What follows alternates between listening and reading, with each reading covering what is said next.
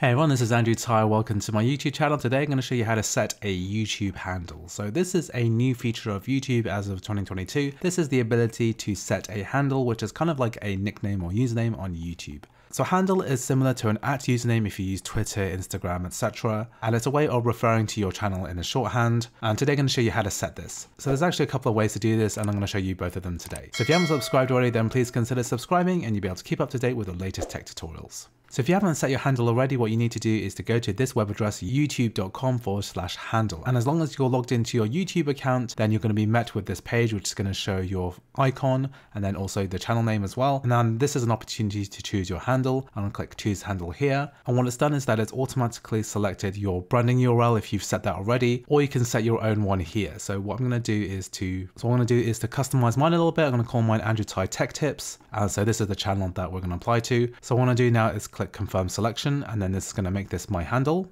and this means that handles will start appearing on YouTube later this year. I have my channel URL here so if I so if I select this and then copy and I paste this into the browser bar then I'm going to get to my YouTube channel from here as well.